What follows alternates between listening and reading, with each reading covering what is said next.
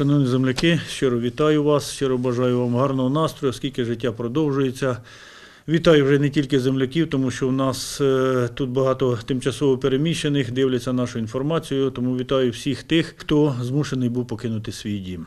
Загалом ситуація в громаді контрольована. Самому не подобається це слово контрольована, але що я маю на увазі? Всі питання, які в нашій громаді є на сьогоднішній день, ми контролюємо, знаємо, маємо інформацію і можемо, хоч і не на 100%, але на них впливати.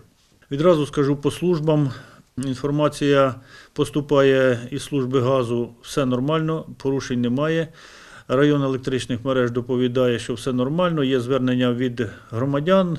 В домоволодіннях щось потрібно змінити, доробити. Ну, це ситуація мирна, штатна. По виробничому управлінню житлово-комунального господарства випав трішечки сніжок. З метою економії ми не могли привести до ладу всі вулиці, посипати, розчистити. Також тротуари трішечки в снігу. Ну, розраховуємо, що температура в день плюсова, тому сніг само собою розтане. Ну і було багато людей, які хотіли діток на санчатах покататися.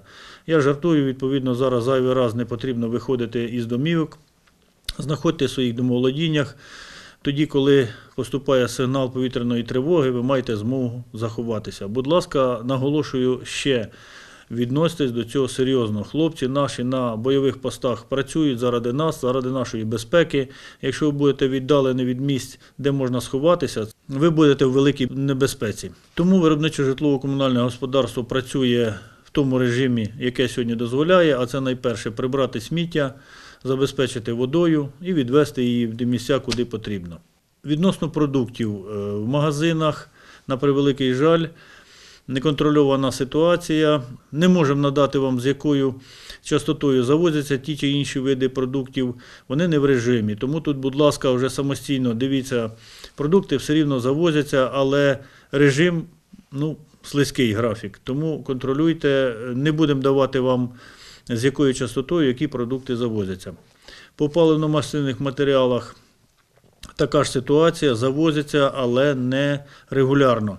Тому необхідно дивитися три види палива: дизельне, бензин, газ завозяться в різні моменти, в різну пору доби, але все рівно торгують бензоколонки, ми даємо режим, це в світловий е, день, в світлу пору доби. Вночі ніхто не заправляє з метою безпеки, самі розумієте це.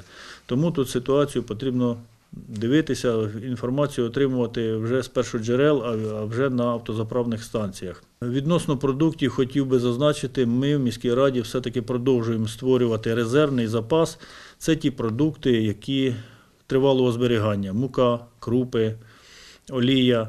Тому сьогодні продовжують і прості пересічні громадяни із сіл, із міста приносити продукти, ті, хто чим багатий, можливо, надлишок є. Підприємці також допомагають. І звертаюся до всіх благодійників, продовжуємо, формуємо той резерв для того, щоб забезпечити в першу чергу Збройні Сили України, тих хлопців, які сьогодні на бойових постах, забезпечити наше населення в першу чергу, там, де є багато діток, де є сім'ї, які мало забезпечені, ну і відповідно людей поважного віку.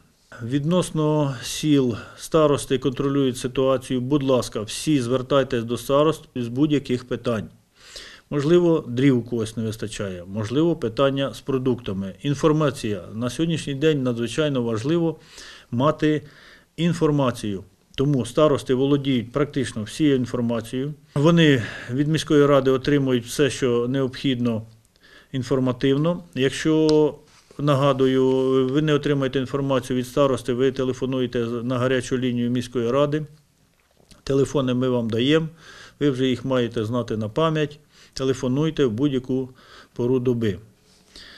Дуже багато людей тимчасово переміщених.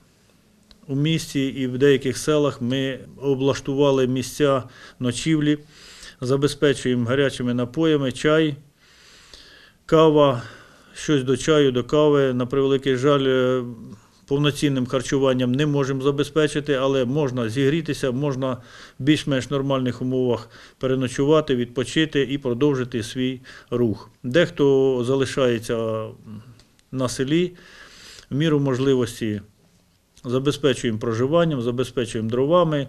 Ті домівки, які є, власники в них не зруйновані, де придатні до проживання, залишаються там сім'ями, проживають. Ми їм по-тихому облаштовуємо їх всім необхідним.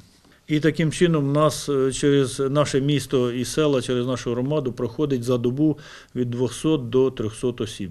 Що хотів би зазначити, і по лікарні важлива сторона нашого життя. В лікарні все нормально, все добре, забезпечені продуктами харчування, забезпечені медикаментами, але продовжуємо резерв створювати, оскільки зараз і логістика, доставка товарів надзвичайно важка. Продовжуємо працювати з благодійними організаціями, е, в тому числі і за кордону, довозять до нас ті люди, до кого ми звертаємося, і навіть ті, кого ми не знаємо, телефонують. Ми залюбки приймаємо і дякуємо за будь-яку допомогу.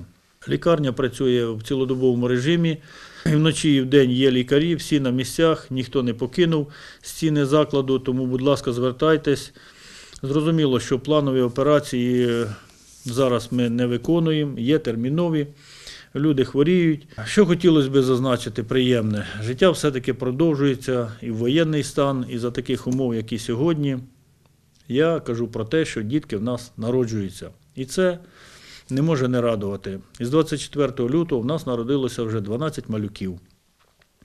Ну, я як чоловік, мені трішечки прикро, що дівчаток народжується більше, а їх із числа 12 народилося 9. Хлопчиків всього-навсього троє.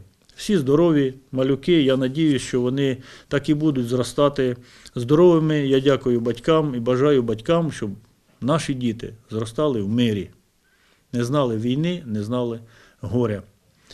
Тому тримаймося, воюємо, миру нам, Україні перемоги.